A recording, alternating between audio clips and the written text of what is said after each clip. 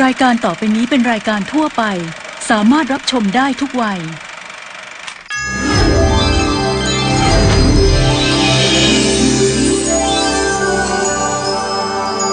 ละครทำนำชี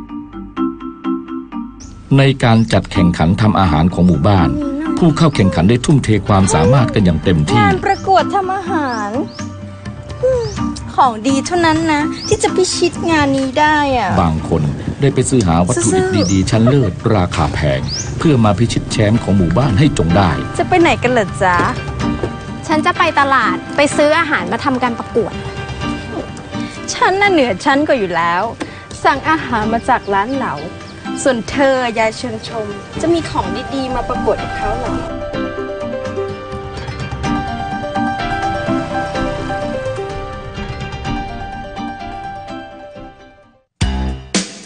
ำหรับชวนชมนั้นไม่มีทุนพอที่จะไปซื้อหาวัตถุดิบราคาแพงๆ แต่ได้น้อมนำเอาหลักเรื่องความพอเพียงของพระเจ้าอยู่หัวมาเป็นที่ชี้นำด้วยการนำเอาวัตถุดิบที่ปลูกอยู่รอบบ้าน มาทำเมนูอาหารที่สดใหม่ ปราศจากสารพิษ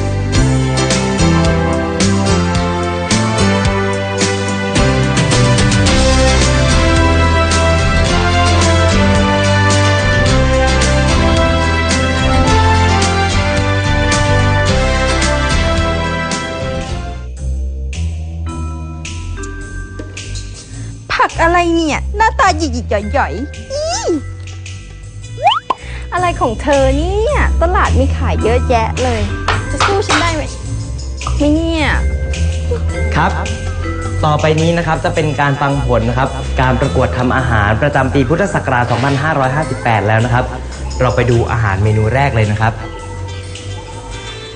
นี่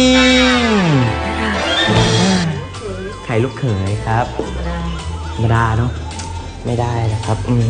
ยังไม่ผ่านนะครับ ผมจานต่อไปเลยดีกว่าครับมาจานนี้ครับขาหมูอีกแล้วไม่ผ่านนะครับ เสียใจด้วย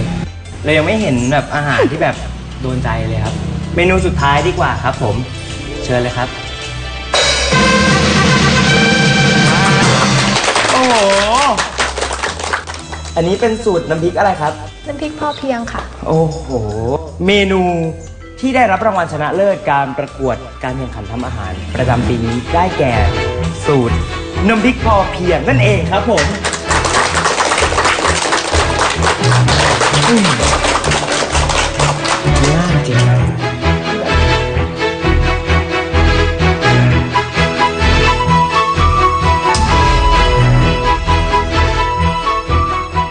ครเรื่องนี้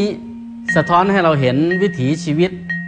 ของคนรุ่นใหม่ หรือคนสมัยใหม่ในยุคโลกาภิวัตน์ว่าเราให้ความสำคัญกับเงิน ให้ความสำคัญกับวัตถุมากกว่าความเพียงพอ ความพอเพียง ความเรียบง่าย หรือการใช้ชีวิตแบบมีความสุขที่แท้จริง ชวนชมเป็นต้นแบบในการใช้ชีวิตอย่างพอเพียงและเรียบง่าย ไม่ดิ้นรนแสวงหาสิ่งที่เกินความจำเป็น ใช้สิ่งที่ใกล้ตัวมาเป็นประโยชน์ในการดำเนินชีวิต ชีวิตมนุษย์ หากเราไม่ขนขวายหาวัตถุ หากเราไม่ขนขวายหาสิ่งที่เป็นสิ่งที่เกินเลยต่อความจำเป็นชีวิตของมนุษย์จะมีความสุขมาก เมื่อท่านใช้ชีวิตอย่างพอเพียงสันโดษและเรียบง่าย ชีวิตของท่านจะมีความสุขที่แท้จริง ขอเจริญพร เมื่อท่านใช้ชีวิตอย่างพอเพียงสันโดษและเรียบง่าย ชีวิตของท่านจะมีความสุขที่แท้